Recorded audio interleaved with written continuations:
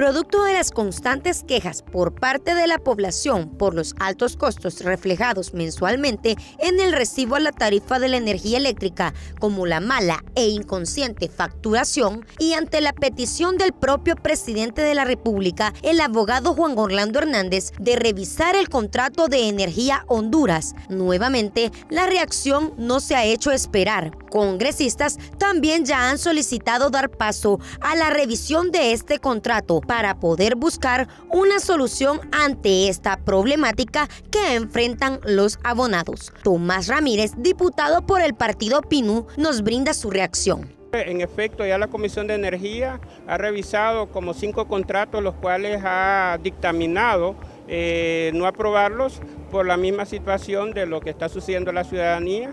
Vemos eh, a un amigo en progreso que tiene un pequeño negocio que le salieron 32 mil empiras de energía y el siguiente mes le salieron 12 mil empiras y él tiene una refri y un colador. Realmente la familia hondureña está sintiendo el peso del alto costo de la energía en Honduras. De esta forma, Carlos Villatoro, diputado del Partido Nacional, también agrega su comentario. Que lo importante es que prevalezca el interés público, o sea, la gente.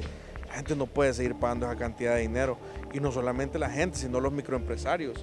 O sea, por culpa de EH, pueden haber microempresas que quiebren.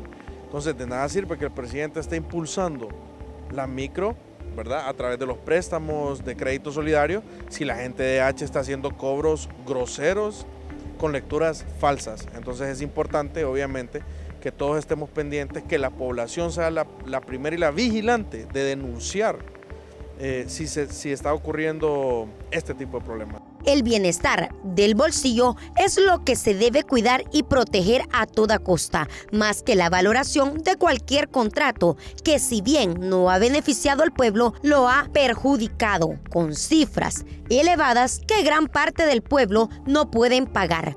Con ayuda en edición, Ronnie Aguirre, en cámaras Luis Zelaya para HCH Televisión Digital, Dilcy Paz.